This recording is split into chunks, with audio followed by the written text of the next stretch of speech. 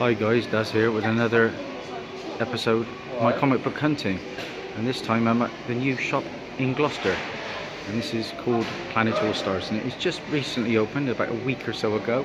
So they're still not completed how the owner would like but we're certainly getting there. Got a lot of cool stuff in. Good Iron Man. He sells also at various cons. I bumped into him down at the Birmingham one recently There. Got some pretty cool ones in there.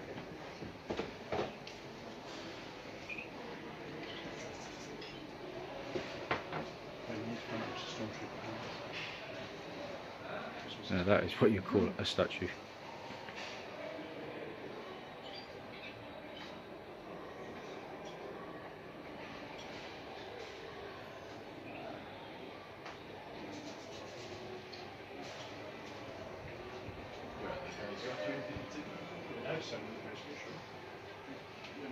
Just picked up a book because he does get new books in, which is great. Absolutely fantastic.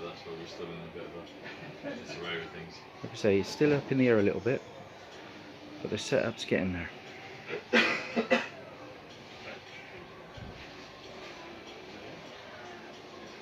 There's the owner behind the till.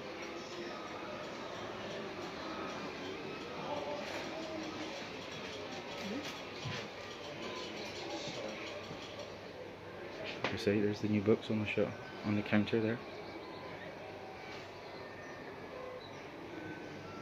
Good guy. This is the guy I bought off.